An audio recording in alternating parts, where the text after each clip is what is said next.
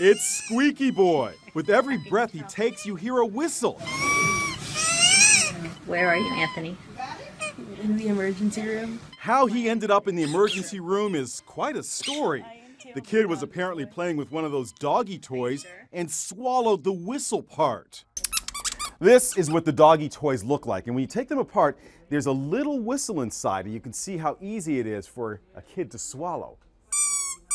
It's really no laughing matter, as Squeaky Boy found out in the ER.